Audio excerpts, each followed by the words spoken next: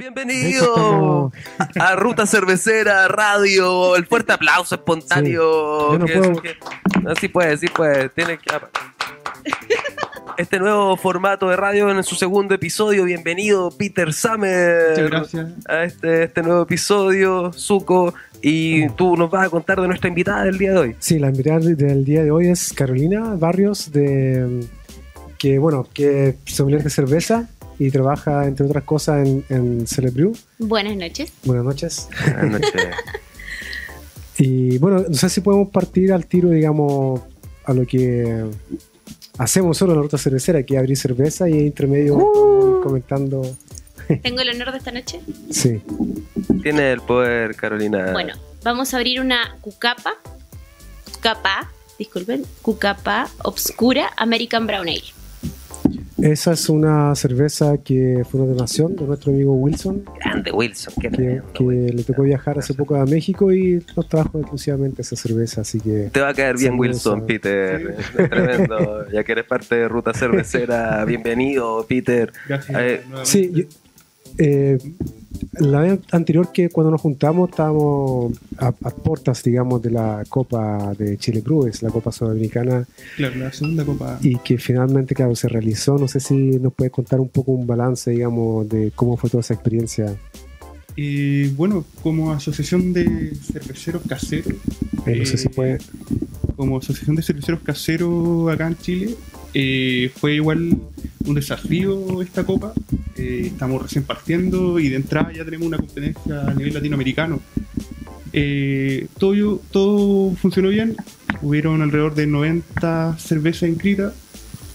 Eh, hubieron varios ganadores chilenos, pero la mayoría de las um, cervezas ganadoras o con oro se fueron a Brasil y Argentina. Claro. Oye, y esto de que haya que hayan ganado la medalla de oro principalmente Argentina, Brasil, eso es una tendencia. Me acuerdo que siempre que estamos haciendo cobertura de los eventos latinoamericanos, eh, siempre se, se hace esa tendencia. ¿Cómo, ¿Cómo anduvo Chile esta vez? ¿Anduvo metiéndose tal vez entre medio? Eh, en Chile hubo un oro, y hubieron varias platas y muchos bronce. Pero a diferencia de los otros países que participaron, no tuvimos una instancia previa a esta copa. O sea, es decir, que la otra, o los otros clubes de cerveza o asociaciones de cerveceros caseros hicieron como competencias previas o clasificatorias para participar en esto. O sea, el, Como, como una especie de filtro, digamos. Claro, un PC filtro, lo que hizo Somos Cerveceros fue que solamente podían participar los que habían ganado en la otra instancia de competencia. Así que por eso ya venían... Dices que la co- la- los competidores chilenos por ahí pudieron, no pudieron haber sido los mejores.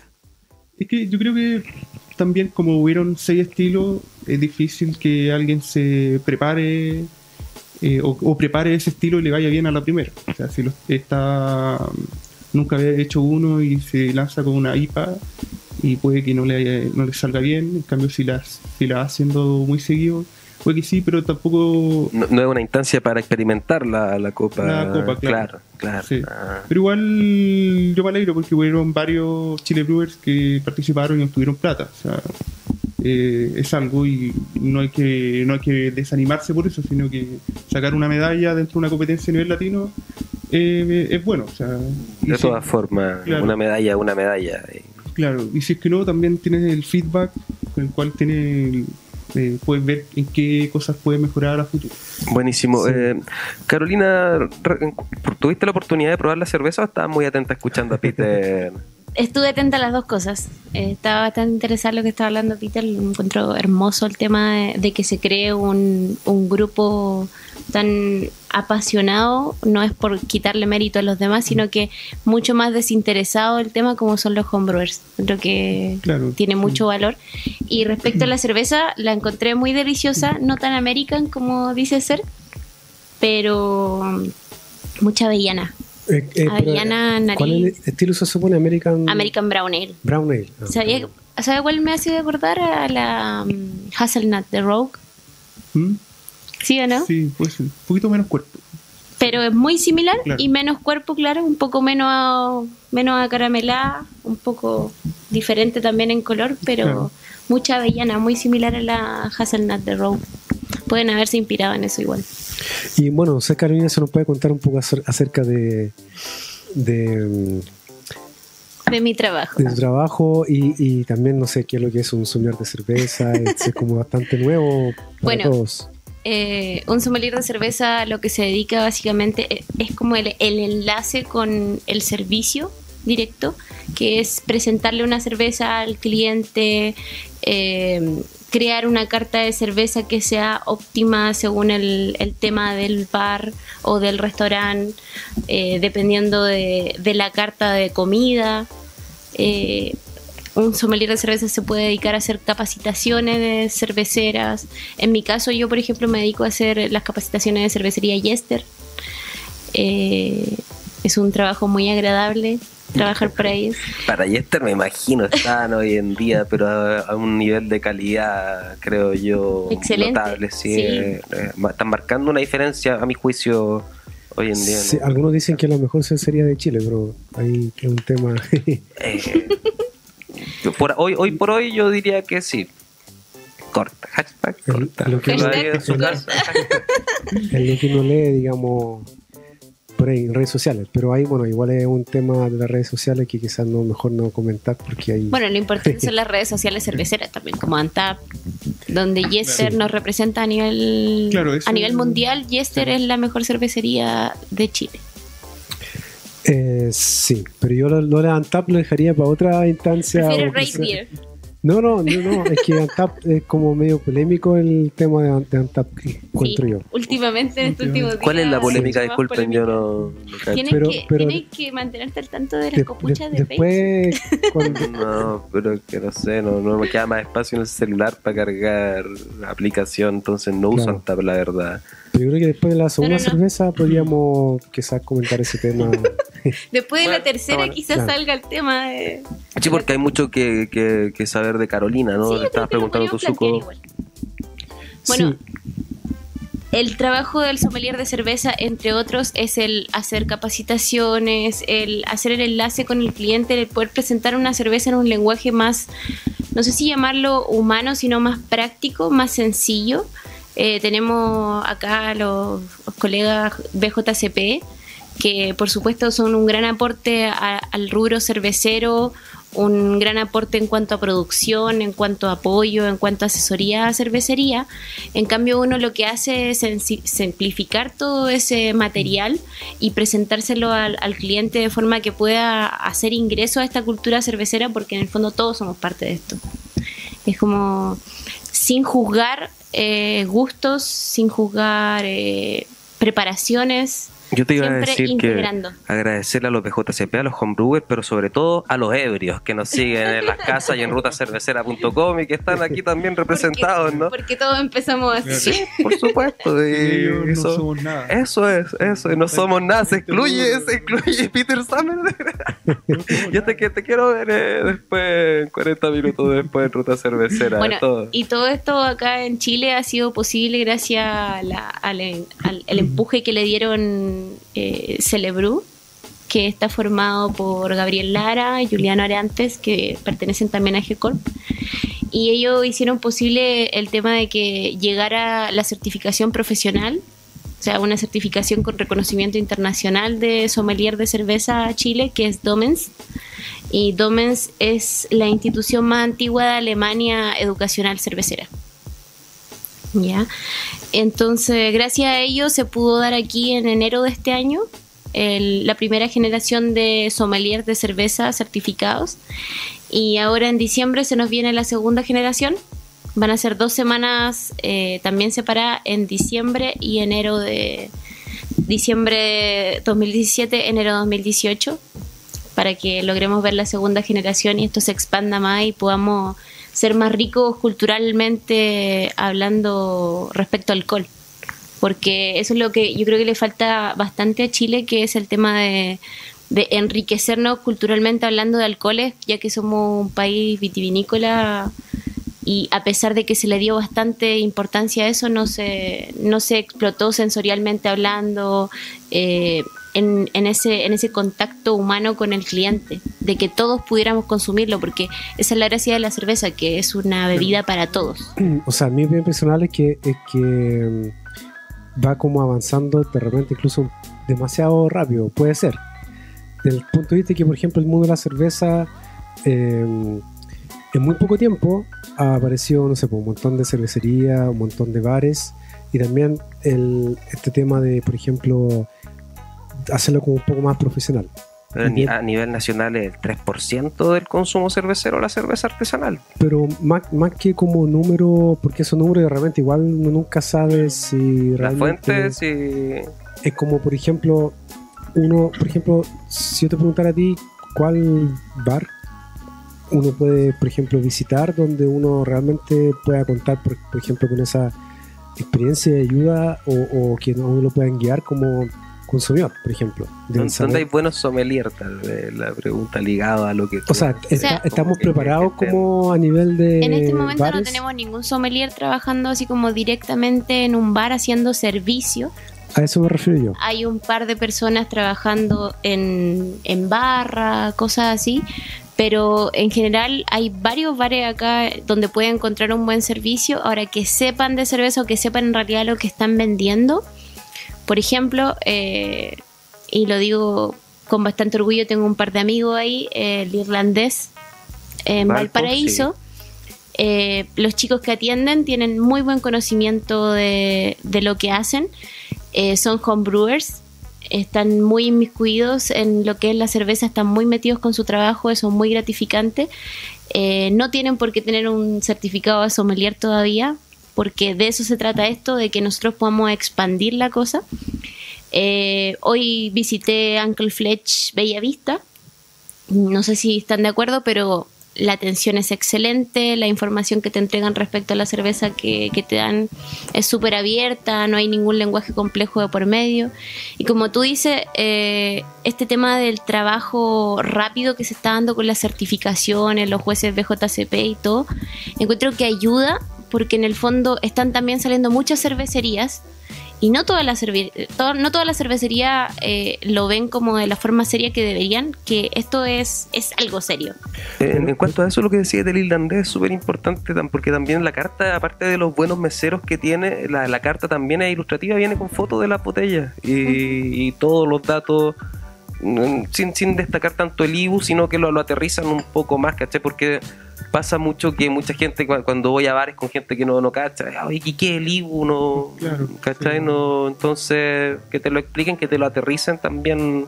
Me imagino que debe ser parte de la pega del sommelier, ¿no? Es genial, es genial que tú llegues a un bar. De hecho, a mí me pasó que conocí a estas increíbles personas que trabajan ahí, por lo, o sea, conocía a Nayel y todo, pero no confiaba netamente en quién me atendiera. Yo iba y me dirigía siempre al cooler a, mirar, porque las Mikkeller son demasiadas y uno de repente dice, no creo que el mesero se aprenda todo. Esto fue hace un par de años. Y cuando me di cuenta, la chica llegó con muchas, Magdalena llegó con muchas botellas a la mesa y me dijo, mira, yo te puedo recomendar esto, esto, esto, en orden de lo que ya te tomaste antes. Es fantástico. Y ese es el trabajo de un sommelier de cerveza, al igual que un sommelier de vino. Es exactamente el mismo. Recibirte de forma adecuada en el lugar, porque no es tan solo la cerveza, es la comida que lo acompaña, el momento que pasa. En el fondo es toda una experiencia social y personal importante que después vamos a recordar. Claro. Y, o sea, lo importante es que lo recordemos. Chuco, tú ibas a preguntar algo. Sí, no, claro, en en relación, por ejemplo, a la, a la comida. Por eso digo que el tema de, de que yo veo que está como un poco adelantado, pero está súper bien, como tú dices, que está súper bien que esté adelantado, porque así obliga, digamos, que el tema vaya mejorando. Las mismas cartas, no sé, porque muchos bares igual son como bien limitadas, son como muy parecidas, no sé, por las típicas papas fritas, hamburguesas, cosas así, Eso, eso. que limitan también el tema del maridaje y todo eso. O sea, son un poco los restaurantes quizás que tienen, o bares, o no sé cómo llamarlo, que tienen algo más allá que de repente se puede maridar con más cosas y todo eso. Creo yo. Lo hacen pensando en que, que eso es como la gente lo que pide siempre. Claro, o sea, no, no van a conocido, claro. innovar mucho porque es como arriesgarse mucho, porque el público a lo mejor no está listo, no sé, pues Sí. es como un tema ahí. Hay algunos que, extraño. que pasan a eso, que cambian un poco la carta y a veces eso no se vende mucho. Finalmente lo terminan sacando, que puede ser un maridaje súper bueno, son crudo, y no, al final, como no lo piden, eh, o la gente alega porque, no sé, tienen como una visión del bar y ya, y no, ahora están vendiendo esto y van a cambiar, ¿cachai? Eh, finalmente ceden a la petición de los clientes o ceden en base a, lo- a las ventas y terminan sacando y terminan siempre vendiendo lo que venden en todos lados. Ah, Desde acá les queremos decir, no se dan. Y no Claro. ven. Luchen. Luchen, luchen por sus Es sueños. Sí. Y, no. y si, y si tuvieran que, por ejemplo, hacer una recomendación a las personas de a lo mejor un, en- en como un- una lista como de cosas en qué fijarse o, o qué cosas hacer o no hacer en un bar al momento a lo mejor de pedir cerveza o no, no sé, una recomendación. ¿Para las personas, para el bar o para el servicio? Para la persona, para el consumidor. O sea, ¿qué, qué es lo que a lo mejor el consumidor debería exigir de su bar favorito o del bar el que otro va día fui a un bar y vi que abrieron una botella detrás de la barra. Eso yo creo que es bastante ¿Escondido, importante. bajo la mesa? ¿Un truco bajo No, la mesa? simplemente abrir la botella detrás de la barra y Ah, llevarla recién a la mesa y es Sí. como, mm, es, la botella se abren En, en la mesa. siempre en la mesa. sí, claro. No tiene que ver el momento en que te abren la botella, la lata, cualquier cosa. Eso es estaría entonces bastante como el- importante. en primer lugar, según tú, digamos, como... O sea, no sé si primer lugar, sino que es una cosa bastante importante. ¿Y, y qué pasa, por ejemplo, si es que alguien... Porque ahí igual es como medio polémico el tema, encuentro yo, cuando... Porque algunos dicen que uno... Los cerveceros, o sea, los que producen cerveza. Por ejemplo, si alguien encuentra que la cerveza eh, no corresponde al estilo que se supone que es, ¿qué debería ir hacer el consumidor? Si es que quizá ya usa, conoce un poquito más algo eso, Yo creo que cada vez que uno... o... Yo creo que, disculpa, yo creo que cada vez que uno va a un bar que tiene una línea de, de cerveza on tap y tiene la posibilidad de pedir degustaciones, hay que pedir degustaciones. O sea, es la posibilidad que se te da, si el bar te lo niega ya es como demasiado intransigente, que lo dudo, no debe pasar acá. Pero eh, ahora si vamos a pedir una cerveza en botella, siempre, siempre hay que preguntar. Siempre Claro. todo. O sea, si yo eso, cada vez que hago una capacitación, ya sea para la marca que sea o ayudando a quien sea, le, le, le digo, le recomiendo, tú haz todas las preguntas que quieras porque es tu derecho como consumidor. Oye, ¿Qué te, pare- qué te parece la cerveza a ti, Peter? Eh, mira, eh, bastante, yo soy bastante exigente con este estilo. No, no sé si, no sé si hay más, Sí. un poquito más cerca. Bueno, yo soy bastante exigente con este estilo. Me gusta el estilo barley wine, pero me gusta que haya equilibrio en aromas, sabor, maltosidad, alcohol, que todo esté como integrado de buena manera. Y me ha costado pillar una después de la la Devil Twin, ¿no? de Freudian Sleep, Freudian Sleep, pero en American Barley Wine. claro, pero que me gustara y esté como en equilibrio todo. Y, y llegué a esta y esta me, me enamoré, podría decir, de esta cerveza. Te enamoraste, acabas de enamorar, qué bonito. Oh, qué bonito deberíamos lo que acaba de aplaudir así. en Ruta Cervecera. Bravo, por el amor, por el amor Sí, el amor, cervecero. Ruta Cervecera, qué bonito, Peter, Bueno, lo que te acaba de un- pasar. encuentro que es una cerveza que si bien es maltosa en aroma, tiene aromas también como, me siento como a hierba, como té negro puede ser, en boca también maltosa y un ligero también retrogusto amargo, un- ligera como astringente como el té. Eh, más o menos lo que les estaba comentando detrás cámara de que me parecía que una barley wine completa eh, es lo que todo uno esperaría de una barley wine perfectamente una eh, yo también creo que me enamoré, estamos enamorados de la misma Claro. chica Peter tenemos problemas Y es, es bastante plena también, eh, pero tampoco la siento empalagosa como el dulzor de la para nada, Claro. claro, claro. Carolina ¿tú qué te parece? ¿quieres compartir Estoy tu- completamente de acuerdo con Peter. Encuentro que, bueno, tam- yo, eh, por el contrario, soy no soy muy fanática del estilo, pero puedo reconocer cuando una cerveza está muy bien hecha. Y esta la encontré bastante equilibrada. Eso es muy valorable en una, en una cerveza de estilo de alta graduación alcohólica. Siempre, en una Imperial, Claro. en una Barley Wine. se corre el riesgo en esta cerveza con alto alcohol que Sí, que moleste mucho el aroma. claro que sea muy licorosa que hastíe, que sea muy dulce, eso no, no es agradable. Entonces se agradecen este tipo de cervezas que son casi, aunque sean, esta en, en este tiene 11.9 grados de alcohol y podemos asegurar que ninguno de los cuatro lo sintió, ¿no es Claro. cierto? Ah, Sí. Yo sí. Ah. Sí. Pero tu caso es especial, tú eres especial. No, yo iba a decir que sería interesante saber cuándo fue embotellada la. Me parece que ahí dice el 2016. Fue el 14 de noviembre del 2016, o sea que tiene menos de un año y puede mejorar completamente. Recomendada Bombs and Grenades de Mullen. Pero dice hasta el 41. ¿Se te Así fija? es. Claro, hasta el Hasta el 41. 14 de noviembre del Voy a guardar 41. algunas hasta, Sí, hasta la fecha. según Sí. Nos vemos, nos vemos en el 2041. Dudo que- dudo que Te voy a, te voy a buscar. Te buscaré donde estés y me tomaré tu cerveza contigo. No, no, nada. Es que. Permiso, vamos a abrir, o sea, ya abrimos, disculpen, la Original Rocky Road Ice Cream de Omnipolo. Pollo. Omnipolo, permiso. Omnipollo. Esta, bueno, estuve ahí, me vieron buscando algo en el celular, estaba viendo qué estilo era y bueno, es una Imperial Porter de 10 Como había grados. dicho tú al principio. Claro. Yo quiero, quiero hacer un pequeño flash que es mucha ceniza, está muy, muy equilibrada y un poquitito picante. Merken. Qué rico. Sí. Qué Sí, rico. tiene- tiene merquén está equilibradísima, no se le siente casi el alcohol, según mi percepción. Y mucha ceniza en aroma y boca. Yo lo siento así un chocolate amargo súper intenso, pero también como un ligero sabor a frutos rojos. Como un equilibrio, no sé. ¿Y viste lo subjetivo del sensorial? Mm. Claro, pero se encuentra en consenso. Qué Eso es lo que hacemos en Ruta Cervecera. Siempre llegamos a cierto tipo de consenso. Rara vez, bueno, también ha habido ocasiones en las que no concordamos y es por lo mismo. Suco, ¿tuvo tu opinión, tu percepción? Eh, también estoy de acuerdo. Estamos todos de acuerdo en que Estamos todos de acuerdo, sí. Sí, pero igual para mí, quizás no sé si tomaría, volvería a tomar esta cerveza. ¿Cachai? Que realmente no fue como Mm, claro. esa ceniza que tú mencionas, como que no es tan agradable. a mí no me parece muy atractivo tampoco. En aroma no me me más que nada atractivo. En boca la encontré bastante eh, bebible por el tema de que no es, no se siente tan alcohólica para mí por lo menos, pero en aroma no me, no me agradó mucho. Tal vez es la ceniza que describe. Bueno, tú estás tomando en la copa de la. Está en la copa Omnipollo. Es un, es un privilegio que no debieran darle al más borracho. Sí, creo que es otra polémica de cómo se pronuncia el nombre. Y... Omnipollo, yo voy a decir omnipollo porque me encanta eso de pronunciar las De hecho, cosas tú ves. como tú- se pronuncian tú acá. En el logotipo tú dices que hay un pollo. ¿En serio? Mentira. Yo veo un pollo.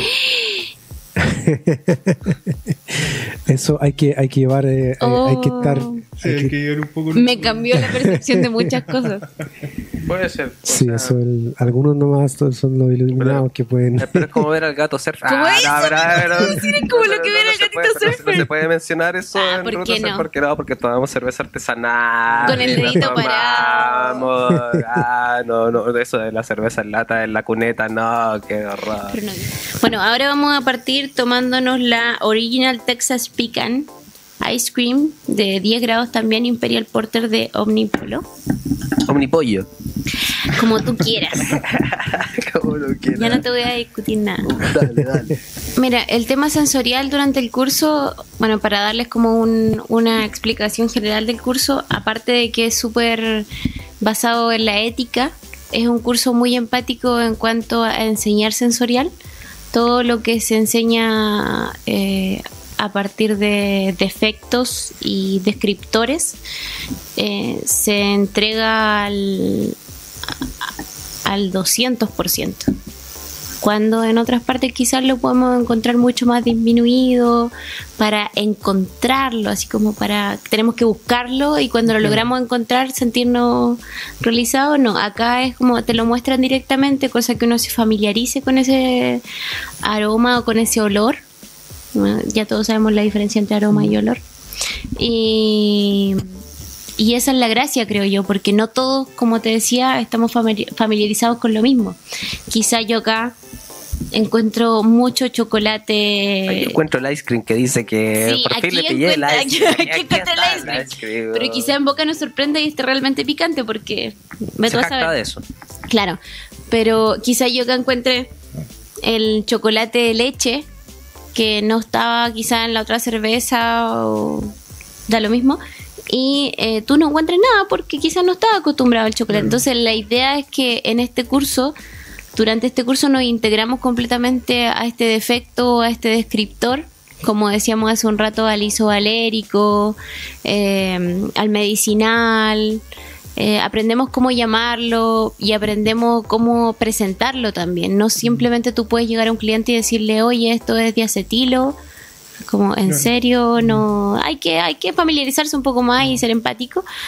Eh, entonces, con la guía de estilos pasa lo mismo en, el, en la certificación de sommelier profesional Domes no utilizamos la guía BJCP, utilizamos la guía de estilo de la Brewers Association que está un poco más abierta a estilos. es mucho más amplia también. Es mucho más amplia. Es, no es que sea menos, menos recta, sino que te la explica de forma más sencilla.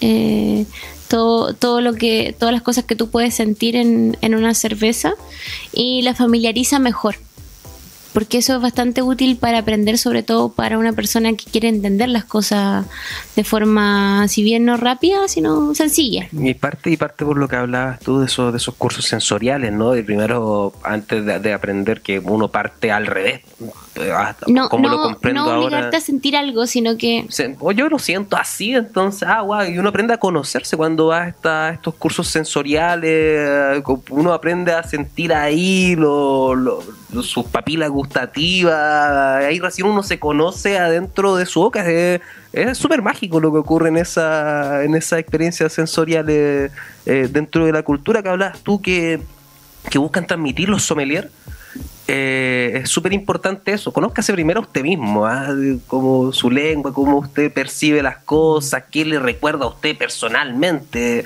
este, eso- este aroma, este olor. eso yo lo encuentro súper valioso que el nivel de entregar una, una experiencia. El, el- ¿Cuánto dura la- el curso? Son, creo que son como dos semanas, ¿no? El curso parece. son dos semanas. En esta ocasión, en diciembre es del 16 al 22. Empezamos en tu cumpleaños, Zuko. La... Del, del 16 a 22 de diciembre y de ahí en, dici- en enero de 2018 hasta el es el 20 del 22 del 21 al 28 disculpa ¿Y de enero y- y quién debería hacer el curso? ¿A quién tú se lo recomendarías? ¿A cualquiera que- o a alguien que tiene algún perfil? Yo creo que se lo recomiendo a cualquiera que quiera integrarse al rubro de forma profesional para darle un uso y, y para hacer una diferencia dentro del rubro cervecero en Chile, que lo necesitamos, que es una, una vista, como les decía, más humana. Eh, y también obviamente al profesional que ya está integrado y que de todas formas quiere hacer una, una diferencia, al bartender, al mesero que quiere profesionalizarse y de nuevo les repito, hacer una diferencia, que es darle valor a ese gran oficio que es el mesero, que se deje de, va- de- de desvalori- de desvalorizar que se deje de mirar en menos el, el oficio de ser mesero. Eh, se lo recomendaría al administrador de bar, al dueño de bar, a cualquiera que esté a cargo de un grupo que, y que quiera meter esa semillita en la cabeza de alguien que es independiente de lo que yo me ocupe, independiente de lo que yo haga, puedo influir en la opinión de otra persona de, de forma de forma empática. Eso. Y e informar más. Obvio, de hacer una diferencia Claro. cerveceramente hablando. Muy bien, muy bien. Una bonita misión, ¿no? Sí. Una bonita misión. Tiene el respeto del borracho común. Salud. Claro, Salud. Salud, borracho de la noche. No puede faltar, ¿no? Eh, por eso me salvo. No, bueno, está, casi empezando septiembre, ah, el mes más feliz. Sí. ¿no? Ahí uno puede andar día, borracho y es día. pintoresco, es un personaje más del paisaje, un, pintoresco personaje del paisaje, nadie, te mira y te juzga. Oye, Nadie- ¿Algo que decir de la cerveza? Está maravillosa. Ah, nos fascinó a todos. Peter Summer, No, te doy lo... en lo particular, el aroma lo siento un poco artificial. Eh, lo siento como un chocolate artificial. No es como. ¿Le echaron polvos? Ya, dilo, dilo aquí ahora. Sí, ¡Oh! Omnipollo le echó ¿cachai? polvo. Pero si él lo reconoce, pues. Si él- ¿Sí? Sí, po. Sí, yo creo que. La dura. Claro. Yo creo que acá hay vainilla Sí. de la buena.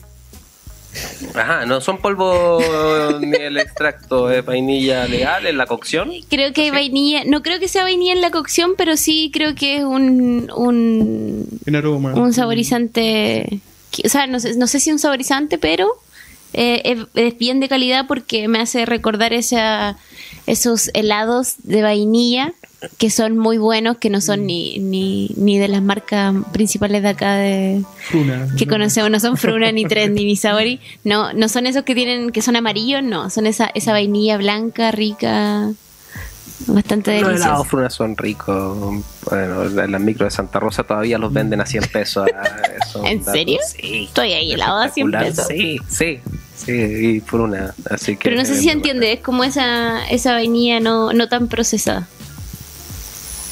No es como cuando te venden helado de pistacho y tú sabes que es pura esencia de almendra. Y, y colorante. Claro. Incolorante verde mentas. Pero, pero me desayunaron con eso de que Omnipollo admite abiertamente lo- que le lo echa polvo y ya está, y no hay Pero- problema. Polvo ya. Por, por Sí, supuesto. pues, por- porque ha sido un tema en ruta cervecera Sí, yo- yo y con, lo- con los cerveceros que uno hable. Si uno ocupa, no, puede- no, no creo que ocupe algo así tan, tan barato. Sí, yo creo que tiene Claro. un truco tan barato. Igual yo creo que el pollo, el pollo que ocupó Eagle Twin hace poco en su última cerveza debe haber sido un pollo de buena calidad. ¿Pollo? Un pollo frito. sí, pollo claro. frito. Oh, de veras que hicieron eso con pollo frito. ¿no? Sí. Se viene la empanada. No, con, con unas notas leves a comino. Claro, sí. Y te repite, te repite, Y te repite, te repite. te repite, te repite. Ah, ya. Si te tomas más de cinco, pasas toda la fiesta patria ahí presente. Sí, sí, precisamente registrando. Bueno, y todo esto ha sido un preludio para el gran broche de oro que, que estamos todos esperando, que el gran Lo experimento. prometido es deuda. Ah, Ah, claro, que lo había prometido la. Pero, pero, pero, la pero cuéntanos de nuevo cómo es el proceso, porque es maravilloso, es mágico. Y antes de. Eh, bueno, acá el proceso es inverso a lo- una destilación común, donde hay una fuente de calor y separa el alcohol del agua o del fermentado y que se tiene que fraccionar en tres partes, en tres temperaturas, por un tema químico eh, en producción de alcohol. En cambio acá se concentra por congelación y eh, mediante gravedad se licúa todo lo que es el alcohol y el azúcar residual. Y cuando me decís eso de granada, te imagino en la Estación Espacial Internacional de cabeza haciendo el, el menjunje y eso le, le pone más, más emoción. Yo no puedo esperar. Producción. Quiero, quiero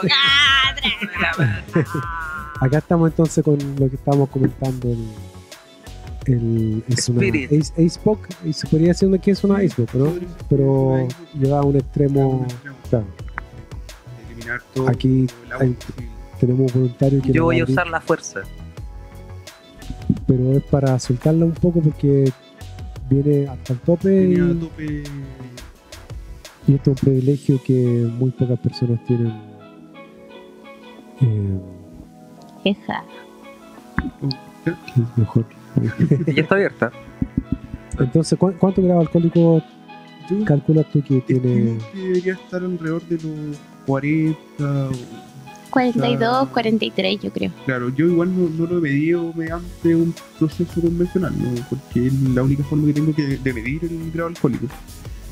Pero yo creo que sí, puede debe, debe estar rondando entre 40, Yo voy a sacar inmediatamente mi copa. sí, ¿qué crees? eh, no sé, es que tiene un poquito de agua, así que para que no se mezcle y sea solamente esta experiencia. Eh, bueno, vamos a ver qué, de cómo cae esto. Vamos a servir un poquito. eh, jarabe. Wow. ¿Lo vieron los amigos de las casas?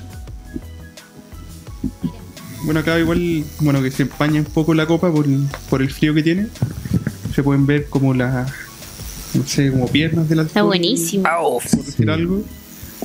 Y- Me- metí mi nariz inocentemente hasta muy adentro, eh, inhalé con el alma y Sí, ¿no? Y bueno, la cerveza en sí, que es la lava de Truff, tiene, bueno, Merkel, es una Strong Ale, si recuerdo bien, de 10 grados.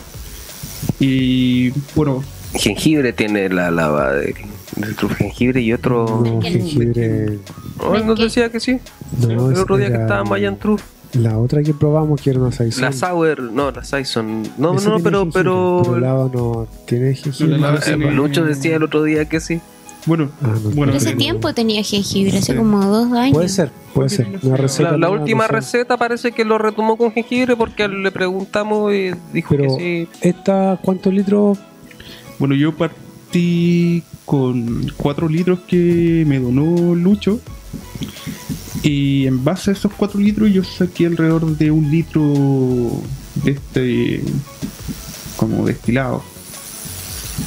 Y lo dividí, bueno, en varias botellas. Yo me quedé con un par de estas. Y una que la abrí para la copa de cerveceros caseros. que le mostré como lo que estaba haciendo algunos jueces. También quedaron como maravillados. Después le expliqué un poco el proceso y el- al decirle que lo hacía como 13 veces ya no le gustó mucho el- la idea de hacer. Claro. Porque claro, es, es harto paciencia. Eh, eh, y encarece también el producto, como decía Claro. en algún momento respecto a los que lo comercializan. Claro. Tú lo haces para el deleite tuyo y, por suerte de ruta cervecera también. Claro. Me recordó, me, me llevó a la Navidad, tiene aroma, según yo, a pan de Pascua. De pan de Pascua. El- A fruta seca. Por el, por el alcohol también puede ser. que- Sí, pues. claro, La o sea, fruta caramelizada. el alcohol y la fruta y también los frutos secos. No, Sí, yo encuentro que igual se No, siente el no ahumado creo. del, del merquén y un poco también el merquén en nariz. En boca se siente mucho más. Eso sí. Bueno, ahí ya empezaron, no, vamos a ver. En boca se siente full, full el merquén. Merquén así, merquén, merquén. Picante, ahumado. Sí, este, este está, está. Intenso, Yo creo que muy la última vez no lo probamos tan frío. Tu refrigerador es muy bueno. Felicitaciones, eh, Zuko. El- El Gracias. refrigerador de ruta cervecera. Ah. está- eh, tenemos buen Pero, refrigerador. pero tiene que ser bien frío, ¿no? Uy, ¿Con, con qué cuál es la idea? Sí, Está que- buenísimo. Eh, ¿Para que no se sienta tan fuerte, dices tú? O... Sí, yo creo que para, para que, para que no pegue tan fuerte el alcohol en boca, pero si se toma un poco más a ser- van a sentir como aromas más a jamón. Y el alcohol también se va a sentir mucho más y va a picar un poco más junto con el merquén. Tiene, tiene sabor, se le siente el, el jamón, efectivamente. Es por el ahumado. Y un jamón serrano, ¿no? Eh, eh, no, no estamos hablando de mortadela, claro, no. No, no, es una cosa muy fina que. No una jamonada cualquiera. No, no, no, no, no, para nada. Estoy maravillado y, y perdura mucho en el paladar, eso es ese Claro. espesor que tiene, que no se vio al servir por, por la temperatura, ¿no? De verdad, es bueno tu refrigerador, Zuko, sí. Porque lo- los chicos, o sea, esper- esperábamos todo un, jarabe, pero la, temperatura explica el hecho de que esté así. No, pero igual esta en particular, ser una cerveza que tiene mucho más eh, de base, tiene mucho alcohol, el alcohol que extraigo del- de este proceso es mayor.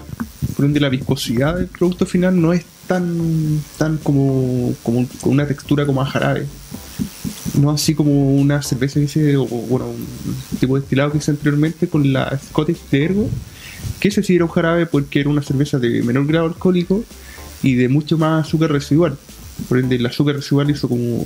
le dio como esa textura como a jarabe en el, como en el producto final. Estaba justo pensando en la cerveza de Ergo. ¿Te acuerdas? Era como para echárselo a unos Como un postre. pancakes, sí. Era como para ocuparlo de jarabe, literalmente. Para los waffles, diría Claro. Sí. Claro.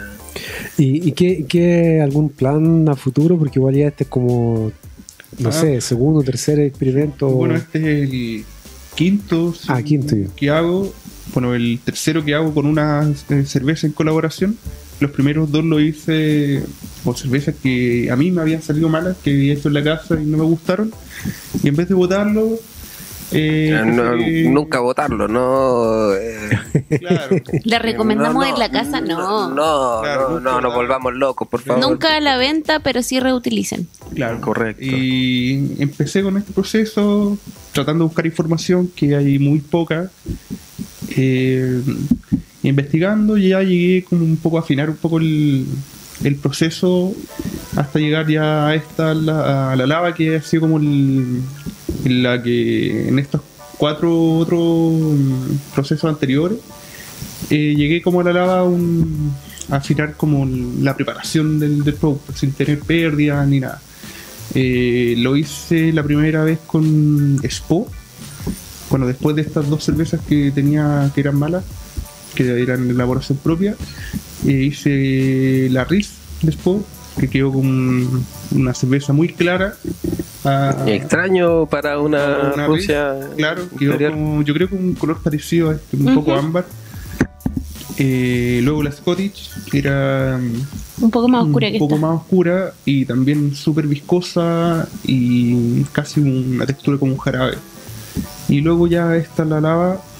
Y bueno, a futuro, eh, si bien este es un experimento, eh, con Luis ya hay un plan de hacer este, de este proceso un poco más grande y ya tirar como unas botellas ahí para que tengan Una maravillosa O botella. quizás un barril.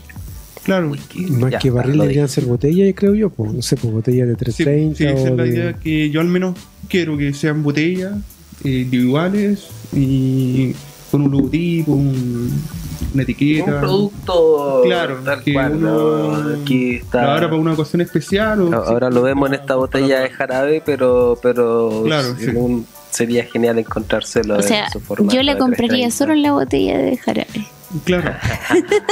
bueno, Diego sacó las primeras. Es romántica igual la botella, ¿no? Da Sí. ganas de sacarla igual. Ah, claro, y no, estoy enfermo. Claro. Claro, no, algo como decimos en Ruta Cervecera que uno puede tomar perfectamente en la comisaría, en el hospital, en Claro. todos esos lados en los que regularmente lo dejan tomar, pero nadie sospecharía eso. Es lo importante de ese tipo de recipiente también, no sé, pero, pero me encantaría verlo en una botella de 330. Mm. eh, Salud. Por- porque lo veamos pronto en una botella de 30. Los amigos en las casas tienen que vivir esta experiencia, los congelados, los spirit congelados. ¿Cómo lo llamamos? ¿Cómo lo vamos a llamar, Peter? Sí, eh, puede ser destilación en frío, que es como lo más caro. Yo lo digo. Pero tu botella de 330 ya debiera tenerle algo ahí, debiera irte pensando, lo, lo queremos ver. Esto está- Un lema. Ah, claro. Y un nombre, sí, claro, un mi nombre. O sea, el nombre está cervecero ahí. casero es Rochard, que Como el la psicológico el y el personaje de los cómics. de- Así es, de Watchmen. Justamente, Correcto. sí. Y en base a eso, ahí a hacer algo. Es como para quedar viendo así figura, ¿no? Después de creo que sí, tomarse. sí, después, de, después de una de estas, Claro. hacerle el test. Para ver qué. A ver qué. Eso sería Yo creo que interesantísimo. eso podría ir como una historia, así como anexa Claro. a la etiqueta, estaría buenísimo. De veras que nos habías comentado en el capítulo anterior de Ruta Cervecera Radio, todo, así que atentos los amigos de las casas con Rochard y, y todo, todo este mundo que nos puede traer. Suco, no- nos estamos despidiendo, ¿no?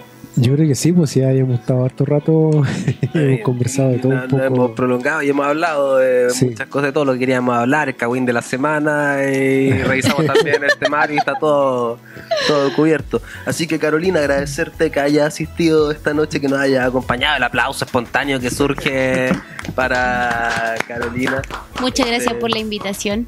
que nos vino a Muy hablar de, de los sommeliers de cerveza, algo que, que necesitamos en nuestra sociedad pa- para que sigamos creciendo y, y tengamos menos borrachos como yo hablando acá y más... Ojo, puede ser un borracho con cultura. Un borracho Claro, claro, sí, con puede- cultura etílica.